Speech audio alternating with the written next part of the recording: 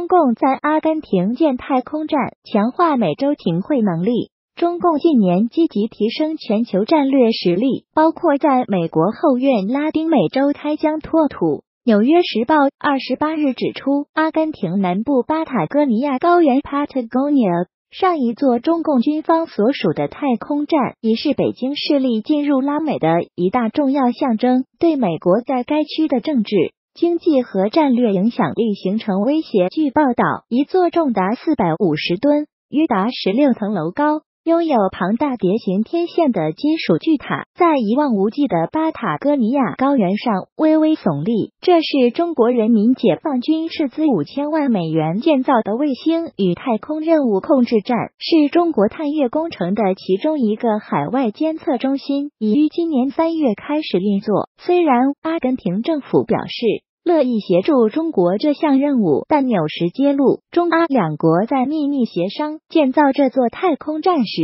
阿根廷正急需外国资金以疏解财政困境。由于这座太空站可以强化中共在美洲的情报汇集能力，阿根廷内部也因此忧心，国家可能被拉入中共的战略轨道。美国过去十年疏忽经营拉美，包括奥巴马政府投入重返亚洲战略，以及川普上台后在与盟国的经济、防卫承诺上渐行渐远。中共。却悄无声息的在拉美地区放长线，例如扩大贸易交流、先筑大型基础建设、强化与各国的军事关系、对当地政府纾困，以便系住拉美国家的命运。独揽庞大资源，阿根廷因为无法履行约一千亿美元的国债，而被被国际借贷市场列为拒绝往来户。北京在此时捧着大把钞票上门。对阿根廷时任总统费南德兹 （Cristina Fernandez Kirchner） 来说，宛如上帝派来的救星。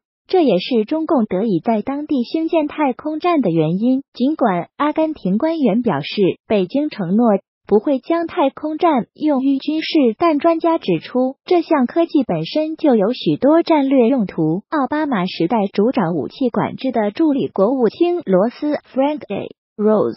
表示，对于中共近年的太空计划及大力发展先进科技，以干扰和破坏卫星通讯之举，美国的情报和国防官员均密切留意且忧心。中方正在开展的战力将削弱美国的军事优势，其中有许多层面来自于太空。研究中国国家安全政策的美国国会前调查员。华府智库传统基金会亚洲研究中心高级研究员程斌 d i c h a n 形容这座太空站的巨大天线就像吸尘器一样，能搜集讯号、数据等各种资讯，对中方的情报和谍战能力大有助益。五角大厦发言人罗根 Christopher Logan。则表示，美方正在评估这座太空站的影响。纽时另指出，部分拉美国家的领袖也逐渐对自己国家与中共的关系起疑，担心过去的政府已让国家背上庞大债务，出卖了国家的未来。